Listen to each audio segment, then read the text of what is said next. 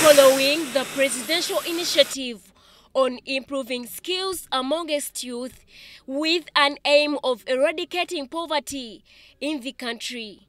It is on such a background that Uganda Business and Technical Examination Board has championed a skilling campaign in information technology and multimedia entrepreneurship opportunities at International Business Science and Technology University, Isbat University. There will be a free facility for IT and multimedia skills assessment of participants, career counseling, and professional development potential to be successful in life by providing sustainable, affordable, and employable education skills, skills training.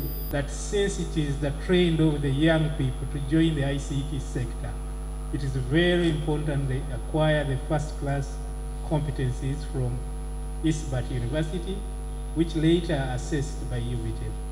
Vice Chancellor Isbat University, Professor Dr. K.M. Matthew, called upon youth to come and acquire skilling knowledge to earn a living and develop the country economically. We are also given free data to all the students to access our academic activities 24 into 7 from anywhere in the world. Because if you attach a value to yourself, if you be a person of value, people will look for you. People will not come to you for anything else. They will look for what kind of value can you add to the community.